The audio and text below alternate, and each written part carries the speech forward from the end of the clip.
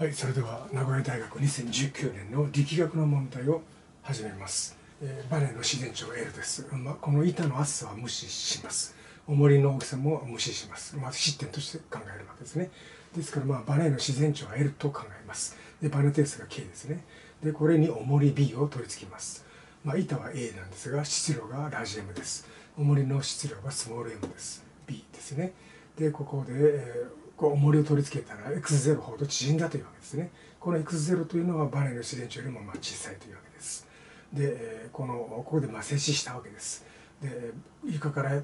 測ったそのバネの長さが x だというわけですね、まあ、この今さっき見たようにここの厚さは無視しますから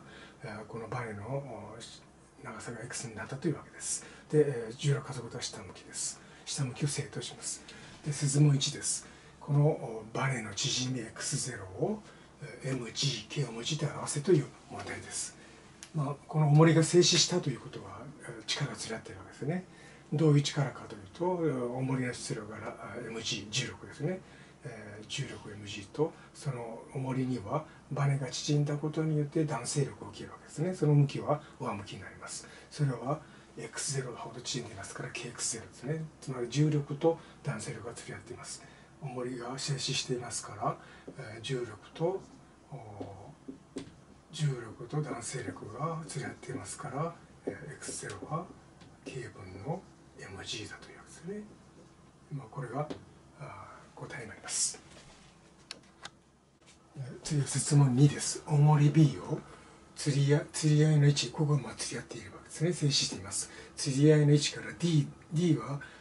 D だけ下げたわけですね。D この D というのはこの L-X0 ですね。ここが、えー、まあここは L-X0 になりますがそのよりも小さいというわけですね。ここまでいかないというわけです。D だけ押し下げて時刻 t イコール0ここでさ押し下げてこの固定したわけですね。で t が時刻 t が0でその固定を解除したらつまり離したわけですね。離すとここが釣り合いの位置ですから釣り合いの位置が単振動の中心になりますからこういうふうにして単振動したというわけですね。その固定を解除すると核振動数オメガオメガは正の単振動を始めた。板 A は、えー、ただし板 A は床に接したままであったと。これ飛び上がらなかったわけですね。接したままであったと。この核振動数オメガを K バネ定数 K、えー、重りの質量 M を用いて表せという問題です。これはもうバネフリコのバネ、えー、振動数ですね。これはもうこれはもうその即答できますね、えー周期は2パイルート k 分の m になりますからあオメガと t というのはオメガ分の2パイですね、ええー、なぜならばオメガというのは t 分の2パイですから。ですからオメガは、まあ、オメガというのは t 分の2パイだと。t 分の2パイですが t 分の2パイになるとこれをこちら持ってきますからこれの逆数これ分の1になりますから結局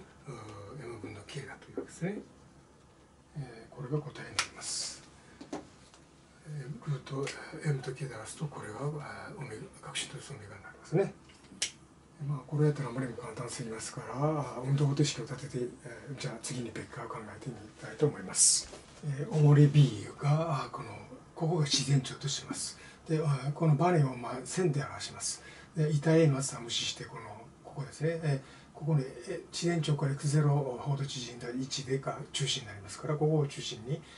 して d だけ下げたわけですね。ここから手を離すと d という振幅でもって単振動するわけですね。釣り合いの位置から単振動の中心になります。ですからこういうふうな運動を重り B は振動するわけですがここのまあここの位置ですね。X t が0から、まあ、ある時間 t だったらここに来たとします。ここでの運動程式を考えます。でここの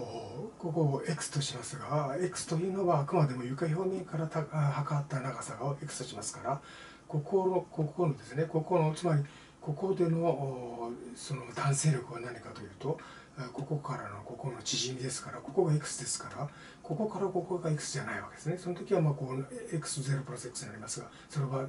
こう間違いですね。床表面からの x を常に考えていますからここの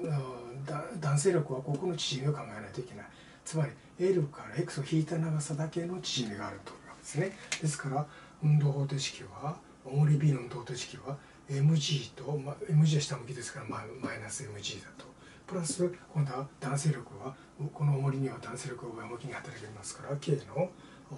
今さっき言ったこの縮みは L マイナス X になりますね。K の L マイナス X だというわけです。でこれは MA イコールマイナス MG というのはまあここはですね MG が KX0 ですからこれはマイナス KX0 になります。プラス K の L マイナス X で K でくくると K マイナス K でくくると X0 今度はマイナスですからマイナスの K の L マイナス X になりますね。まあここはまあこうなると、まあ、K, K ではなくてこうなりますね。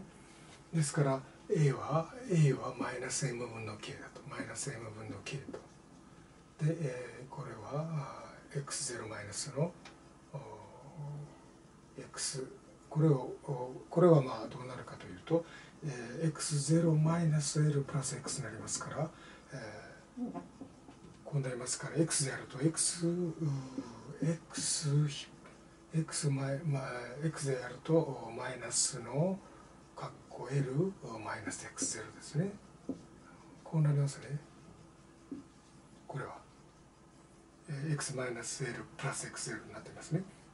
これ見ると L マイナス X0 を中心にして、まあ、これが0例えば A, A イコールマイナスそのオメガ事乗 X という単身度の結ありますね。これが x が0を中心として単身度するということですからこれが0とすると L-x0 を中心として、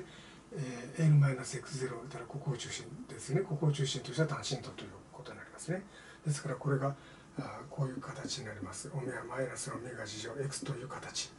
形になりますからこれが m 分オメガ事乗が m 分の k に相当しますね。ですからオメガはルートの正を取って m 分の k だというわけですね。ますね。次は説問3です。時刻 t t は0へ大つまりで、えー、時刻 t が0の時は、えー、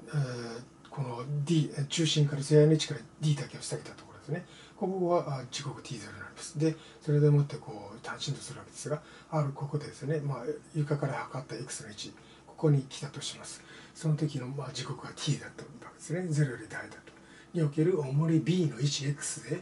1と X は看板の球界表面からあの高さです。正しいものはどれかという「あ」から「く」まで7択ありますがまあこれはもうここをこのまま出せば後から選べばいいわけですね、えー、ですからここの位置におけるこの高さですね。この高さは何かというとこれこれは単振動しますからこれは単振動ということはこの A 運動のここから始まってこういうこういう A 運動の遮影正遮影になりますね。ですからそれを考えればいいわけです。ここは、えー、ここですねこのの、えー、縮みが x0 です。でここで、えー、ここで中心になって、えー、単身の中心になって重り B はここからこういう運動をするわけですね。まあ、つまりここで言うとこういう運動をするわけです。ですからまあここでの何を求めたいかいうとこの 1x ですねこの t が時刻 t の時はここに来るわけですこの高さがいくらかというわけですねこの高さは何かというとこの高さとこのこれとこの x0 を足したものが L になりますから L イコールこの x プラスのこのここは何かというとこれがこういうその単振動することはこれがこういうふうにして回ったこの正斜ですから D のこれここは D のコサインオメガ t になりますね D のコサインオメガ t だと。で、えー、これ x プラス d のコサインオメガ t とそれからここですね。これ x0 足したものが L になりますから求めたいのは x ですから x は L マイナス x0 マイナス d コサインオメガ t だというんですね。これこれに適用するのは何かというと L A ですね。答えは A だというわけがいうわけですね。ですから答えは対子物はどれかですねまあこういうふうに、えー、自分が正しいものを求めてあと見ればすぐできますね。えー、次は設問4です。えー、この図はまあ前のこのまま、あ、使いますからそのまま置いときました。で説問4ですが時刻 t に t いたらこの位置ですねここから始まる t が0でここ森がここに来ています時刻 t にいた A がバネから受ける力 F バネから受ける力 F を mgk D オメガ T を文字で表せというわけです、まあ、ここにまあ板がまああるわけですが板の朝は無視するわけですね、まあ、一応こう板があるとしてこれはバネバネから受ける力ですからバネから受ける力は何かというとこういうふうにして縮んでいますから縮んだ状態で、まあ、作用点はあくまでも板にあります。でこういう向きに、えー、下向きですからママイナスになるわけですね、えー、バネから受ける力ですからどれだけ縮んでいるかという縮み縮みですね、えー、縮んでそのバネはバネ自身はまあまあ上に男性力は及ぼしますが板はこう下向きに受けるわけですね。縮んだ長さは何かというとこれが自然長ですからここが自然長ですからこれが縮んでいるわけですね。ですから縮みは何かというと縮みのバネの縮みは何かどれだけかというとこれは x0 プラスのここですよね d コサインオメガ t になります。ですからあこの kx ですからしかもマイナスを考えないといけない。下向きですからマイナス k 縮みこれですね。